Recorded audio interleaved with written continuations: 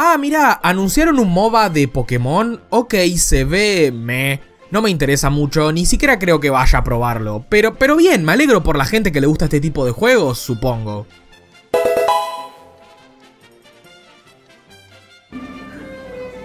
¿Cómo llegó eso ahí?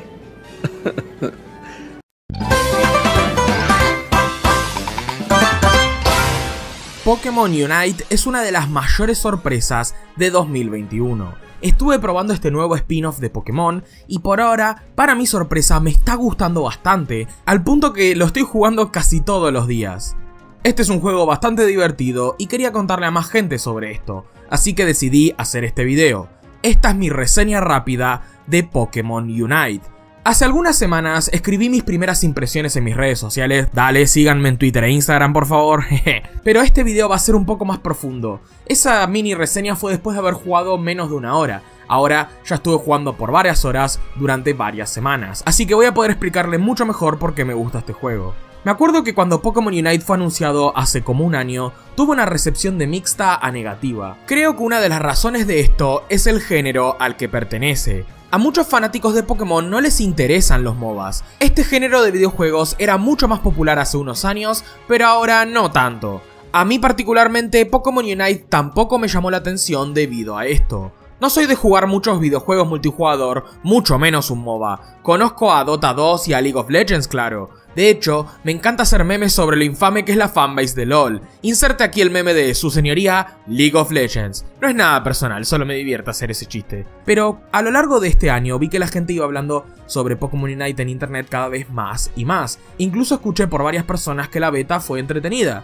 Así que cuando salió me quedé pensando, ¿de verdad? ¿Este juego va a valer la pena? Y dije voy a probarlo, total es gratis en Nintendo Switch, no perdía nada.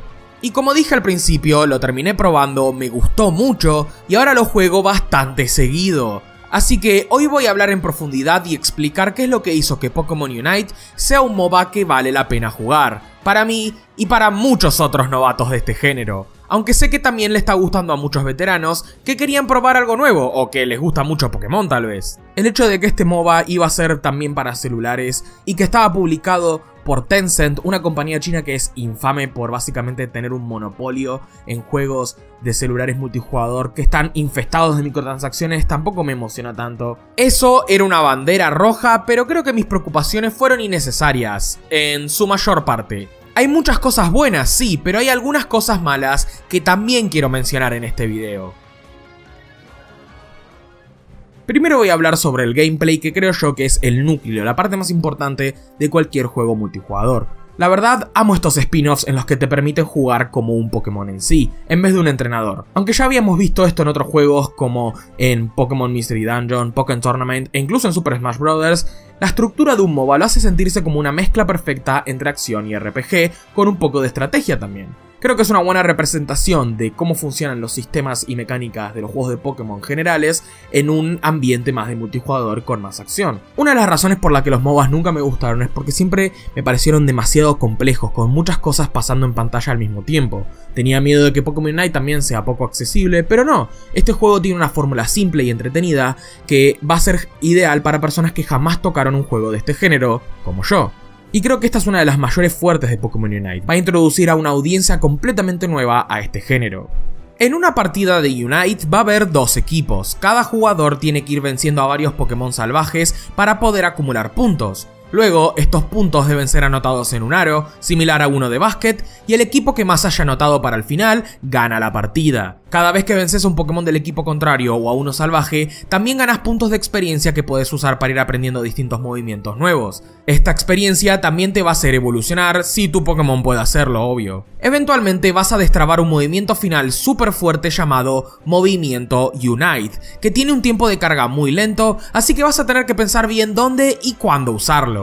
También hay distintos eventos en los mapas que van a ir afectando drásticamente la partida, como la aparición de diferentes Pokémon especiales que pueden darle ventaja a tu equipo si los vences, no te los pierdas. Tal vez todo esto suene como mucho a primera vista, pero estas partidas son relativamente fáciles de entender una vez que empezás a jugar. A los que estén muy familiarizados con el género de los MOBAs se van a estar riendo de mí, tipo diciéndome por qué explicas eso, todos los MOBAs funcionan así. Pero a mí me sorprendió, yo pensé que los juegos de este género eran un poco más centrados en el combate y en la estrategia, pero también tienen como una atmósfera de juego de deportes y me sorprendió bastante. La mejor parte es que esta modalidad de juego le permite a cada jugador ser útil en el equipo, aunque no seas tan bueno. Por ejemplo, si no sos bueno peleando contra otras personas, tal vez lo mejor que puedes hacer es ir a pelear contra Pokémon salvajes a acumular puntos, o aprovechar cuando hay mucha gente peleando en un lugar y están distraídos, escabullirte por atrás y meterles un gol. El trabajo en equipo es muy importante en Pokémon Unite, y aunque jugar con personas que no conoces en internet es decente, es relativamente entretenido, siempre va a ser mejor jugar con amigos que conoces, en especial si te puedes comunicar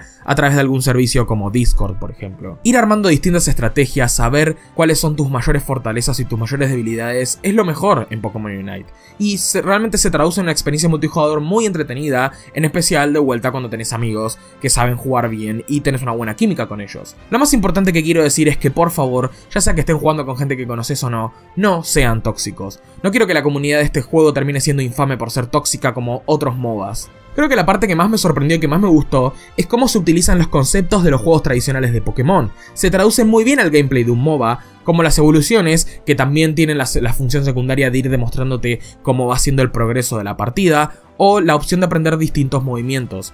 Además, me gusta que tengas distintas opciones, no siempre aprendes los mismos movimientos, puedes elegir cuáles e ir armándote un moveset ideal para la situación en la que estás. Pero también sé apreciar que no hayan utilizado todas las mecánicas típicas de Pokémon, por ejemplo, las distintas debilidades y fortalezas de los tipos conocidas en Pokémon no está presente en Pokémon Unite y es lo mejor que pudieron hacer.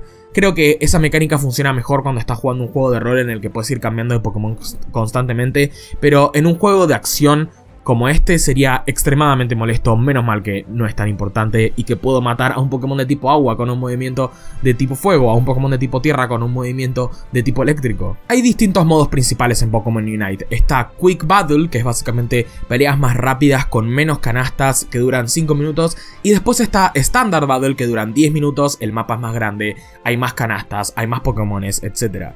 Y me gusta que en Quick Mode haya distintos mapas que se van rotando a lo largo del día, pero en estándar siempre hay el mismo mapa. Y me gustaría que agreguen más mapas, seguramente van a agregar más en el futuro, porque honestamente me estoy hartando un poco de jugar siempre en el mismo, aunque los nuevos mapas solo cambien estéticamente y no afecten para nada la estructura ni el gameplay, Simplemente quiero ver algo distinto para no cansarme de jugar siempre en el mismo mapa. No me preocupo mucho por esto, yo sé que seguro van a seguir agregando en el futuro. Pero el mayor elogio que le puedo dar a Pokémon Unite es que cada partida está diseñada para ser corta y rápida, lo que creo yo que siempre es la mejor opción en este tipo de juegos. Como dije, Quick Battle duran 5 minutos, estándar duran 10, es realmente un juego que podés agarrar, jugar un ratito y dejarlo, que eso siempre es ideal para mí Creo que este tipo de juegos va de la mano perfectamente con una consola portátil como lo es la Nintendo Switch. Sí, obvio, el gameplay es extremadamente repetitivo, jugar muchas partidas seguidas te puede quemar la cabeza y siento que tal vez esto es bastante común en este género, pero eso no es grave porque siento que Pokémon Unite, además de ser muy bueno para hacer partidas rápidas, también siento que es muy bueno para pasar el tiempo mientras estás viendo o escuchando algo de fondo o como hago yo, si estás jugando con amigos, también hablas con ellos mientras estás jugando. Todo es muy divertido acá, siento que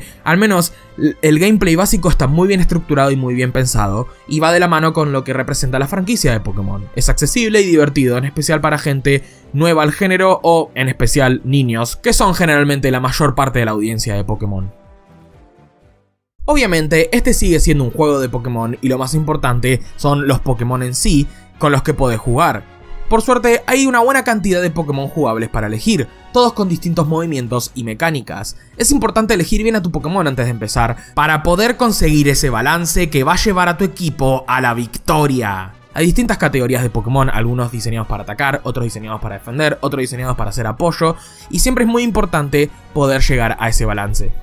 También me gusta mucho la representación de generaciones que hay en Pokémon Unite. Obviamente están los Pokémon que uno esperaría, Charizard, Pikachu, Lucario, etc. Pero también hay algunas opciones un poco raras como Eldegos y Cramorant. Sí, Cramorant, ese pájaro con un barracudo en la boca todo el tiempo, es un Pokémon jugable en Pokémon Unite y me encanta.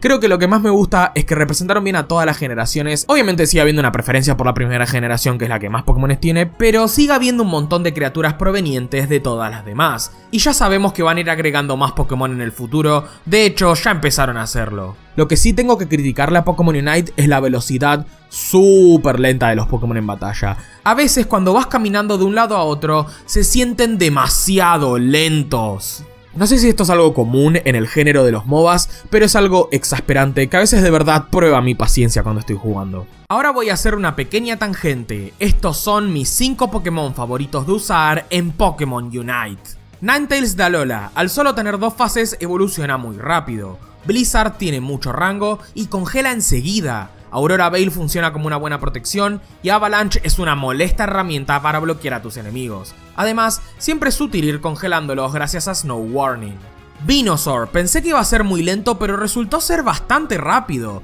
además de que tiene muchísimo rango con su látigo cepa y sus hojas navaja. Envenenar enemigos con Sludge Bomb puede ser clave en muchas situaciones y Rayo Solar resultó ser uno de los ataques más poderosos en todo el juego. Cinderace es muy veloz, la mayoría de sus movimientos son fuertes y prácticos como Pyro Ball o Blaze Kick y tiene muchísimo rango gracias a su pelota de fuego. Es casi imposible de escapar de un Cinderace cuando te está persiguiendo. Charizard uno de los personajes más accesibles del juego debido a lo fácil y divertido que es de utilizar. Tiene buena movilidad mientras ataca gracias al genial rango de su lanzallamas constante. Casi todos sus movimientos hacen buen daño y tienen varias utilidades. A mí me gusta usar Fire Punch y Fire Blast. Y tiene uno de los mejores movimientos Unite del juego, en especial cuando usa Seismic Toss. Si estás empezando a jugar, elegí a Charizard. No te vas a arrepentir. Y mi favorito es Garchomp. Oh sí, es medio difícil de usar cuando empezás como un Gible, pero este es un Pokémon que recompensa la paciencia y la estrategia. Al evolucionar, Garchomp es muy fuerte, puede cubrir un buen espacio cuando ataca gracias a sus aletas en forma de cuchilla. La combinación de Dig y Earthquake para aturdir y dañar a los enemigos es una de mis favoritas. Y su movimiento Unite, aunque no es tan bueno como el de Charizard, sigue siendo excelente. Honestamente, no sé si de verdad Garchomp es tan bueno como yo pienso que es, pero resoné mucho con este Pokémon y me va muy bien en partidas cuando lo uso. Tal vez porque es uno de mis favoritos en toda la franquicia. También me gusta mucho usar a Lucario, Talonflame y Slowbro, y quiero terminar mencionando que este juego me hizo odiar a Snorlax. Es tan molesto pelear contra este Pokémon. Tengo que aclarar que todavía no usé a todos los Pokémon, este juego funciona de una manera que empezás con cierta cantidad y tenés que ir consiguiendo las licencias de los demás Pokémon, pero también te permiten utilizar algunos que todavía no destrabaste, como que los alquilás. Y creo que es una buena manera de dejarte probar todos los Pokémon, pero aún así motivándote para que destrabes al resto. Si logro probar a todos y veo que mi top 5 cambia drásticamente en el futuro cercano, lo voy a mencionar en mis redes o en los comentarios de este mismo video. Pokémon Unite tiene solo 21 Pokémon y todos son bastante distintos de usar entre sí, creo que hay mucha variedad y son todos útiles. Pero yo sé que va a haber más Pokémon que van a agregar en el futuro cercano. De hecho, ya agregaron a Gardevoir mientras preparaba este video. Así que no me preocupo. Yo creo que pueden expandir la vida útil de este juego por varios años porque tienen una enorme cantidad de Pokémon para agregar. Además, a diferencia de otros MOBAs como LOL por ejemplo, no tienen que diseñar personajes nuevos desde cero. Ya están diseñados prácticamente, solo tienen que adaptarlos al gameplay de Pokémon Unite. En cuanto a los Pokémon que me gustaría ver a mí en el futuro, yo siempre quiero ver más iniciales como Blaziken, Samurott, Decidueye, Incineroar, Inteleon, Rillaboom y Gauchagarto. Oh, esperen, ups, qué tonto soy. Ese no es un Pokémon real, es el excelente inicial de tipo planta del Argen, la región Pokémon basada en Argentina que yo mismo creé. Más información en el video que puse en la tarjeta de arriba. Pero además tengo muchas otras opciones que podrían ser buenos personajes jugables como Mewtwo, Crobat, Tiranitar, Metagross, Gallade, Zoroark, Darmanitan en dos sabores diferentes, Volcarona, Hydreigon, Slash, Mimikyu, Golisopod, Toxtricity, si quedé cebado desde el último video, Dragapult, Urshifu y muchos, muchos más. Como este es un videojuego multijugador, decidí concentrarme en la parte más importante que es el gameplay durante la mayor parte de esta reseña rápida. Pero ahora quiero hablar un poco sobre la presentación. Los gráficos son mucho mejores de lo que me esperaba. Están bastante detallados, tienen buena iluminación, buenas texturas. Realmente no parece un juego barato para celulares que tranquilamente pudo haberlo sido. Se nota que gastaron una buena cantidad en el presupuesto de, este juego para hacer que los gráficos se vean bastante bien. La música también es bastante buena, a mí me gusta, pero siento que no me gusta tanto como al resto de las personas que he visto en internet. Mi mayor problema es que la mayoría de las canciones tienen como una temática de deportes, como si fuese música de, de los Juegos Olímpicos, que es bastante apropiado para el tiempo en el que estoy haciendo este video. Y todo eso está perfecto, va con la atmósfera del juego, pero también se siente algo genérica, en especial porque creo que la mayoría de las canciones son muy parecidas entre sí. Siento que la mayor parte de la banda sonora no tiene esa clásica magia de Pokémon. Además, como dije antes, vas a jugar en el mismo mapa la mayoría de las veces y los mapas siempre tienen la misma música y te terminas hartando de escuchar esa canción una y otra vez. Me gustaría que agreguen más música después. Los menús de este juego son algo raros, se sienten lentos en ocasiones, aunque mejoraron mucho esto después de una actualización, siguen sin convencerme mucho. Y es una lástima porque es necesario a veces agregar distintos ítems para hacer que te vaya mejor en las peleas. A veces ir a los menús es necesario, aunque no me gusta mucho hacerlo. Quiero mencionar que me gusta mucho la estética de naranja versus violeta que tiene este juego, hace que todo sea más fácil de diferenciar, en especial para los más jóvenes. A mí me hace acordar al Flim Puff de naranja y uva que se vende acá en Argentina. Y ese es uno de mis caramelos favoritos, así que bien ahí. ¡Ja! Sueno como un loco. Díganme por favor que no soy el único que pensó en eso cuando vio el esquema de colores de Pokémon Unite. Y también quería mencionar que la intro de este juego es muy bonita, está muy bien animada y aunque lamentablemente es la única parte cinemática animada de todo este juego, me gustaría que hagan más cinemáticas en este estilo, tal vez si van agregando distintos Pokémones o actualizaciones grandes en el futuro, podrían seguir haciendo animaciones de este tipo. Habrán notado que dentro de todo esta reseña está siendo bastante positiva. Sí, Pokémon Unite tiene un montón de problemas, pero como dije antes, creo que todos pueden arreglarse de manera simple y hacer que este juego se vaya actualizando para que sea aún mejor de lo que es. Pero sigue habiendo un problema enorme con Pokémon Unite del que quiero hablar ahora, que son las microtransacciones. Sí, esta es esa parte del video. Hay varias cosas para comprar en este juego. Y primero está la parte más inofensiva que son los trajes alternativos. Algunos Pokémon en este juego tienen algunos trajes que son muy divertidos y muy tiernos. Es una de las mejores implementaciones de Pokémon Unite porque no es nada que hayamos visto antes en la franquicia. Honestamente, en retrospectiva me decepciona un poco que Smash Bros. y Pokémon tengan trajes tan aburridos en comparación a estos. Le dan mucha personalidad a la identidad de este juego, aunque personalmente creo que es bastante tonto que solo haya 21 Pokémon y que no todos tengan trajes alternativos todavía. Como es común en este tipo de juegos, podés jugar bastante y conseguir plata virtual adentro del juego para comprar estos trajes, pero eso va a tardar muchísimo tiempo. El juego te incita a que gastes plata real para comprar estos trajes alternativos. Y eso no es un problema, honestamente, no me molesta tanto porque eso es algo solo estético. Sí, me encantaría poder hacer que todos mis Pokémon usen todos esos trajes, pero no afecta al gameplay. Y siento que eso es algo bueno, hacer que la gente solo intente gastar plata en lo estético que no afecta al gameplay. Si fuese solo eso, ni me quejaría de las microtransacciones en Pokémon Unite, mucha gente se quejaría de todos modos, pero para mí no sería tan grave. El problema está en que también puedes adquirir y mejorar ítems que te ayudan en batalla con plata real. Y este es el mayor error que tiene este juego. Ningún videojuego de esta índole debería permitir que los jugadores gasten plata real para mejorar los elementos que los ayudan en batalla. Sin importar lo insignificante que parezca, la gente siempre va a encontrar la manera de explotar estas mecánicas al meter más y más plata. Esta es, sin ninguna duda, la mayor y más grave falla que tiene Pokémon Unite, la cual está alejando cada vez a más y más gente de probar esta entretenida experiencia. Estuve investigando un poco y resulta que si por ejemplo querés mejorar uno de tus ítems a su mayor potencia, tenés que jugar para conseguir plata alrededor de un año. Tendrías que estar jugando como por un año para poder llevar a su máxima potencia. Pero si gastas alrededor de 30 dólares estadounidenses, podés comprar todas esas actualizaciones y ya ser fuerte.